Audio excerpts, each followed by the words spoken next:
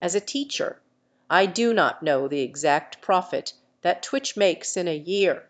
However, it is a highly successful company that was acquired by Amazon for nearly $1 billion in 2014. Twitch generates revenue through advertising, subscription fees, and donations. Its success has allowed it to become a major player in the online streaming industry.